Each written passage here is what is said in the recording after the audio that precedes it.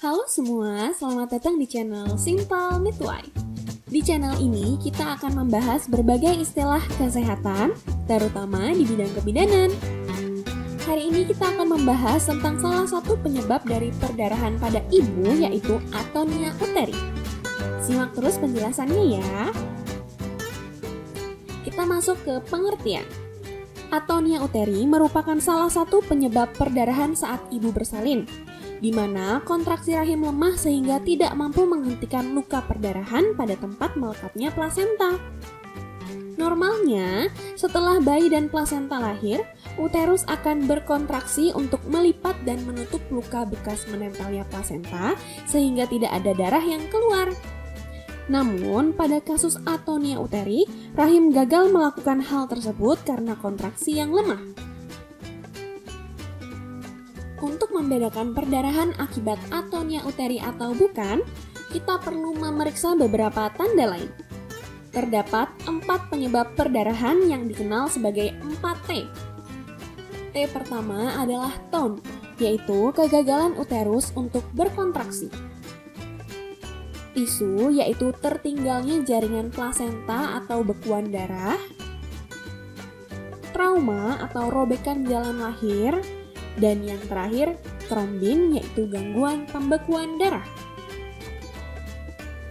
Selanjutnya kita masuk ke faktor-faktor yang dapat menyebabkan atonia uteri. Pertama, regangan rahim yang berlebihan akibat gemeli, polihidramnion atau air ketuban yang banyak, dan janin besar.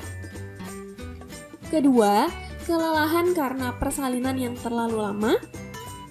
Ketiga, ibu dengan riwayat kehamilan anemia. Keempat, terdapat mioma uteri yang mengganggu kontraksi rahim. Yang kelima, terdapat infeksi intrauterin.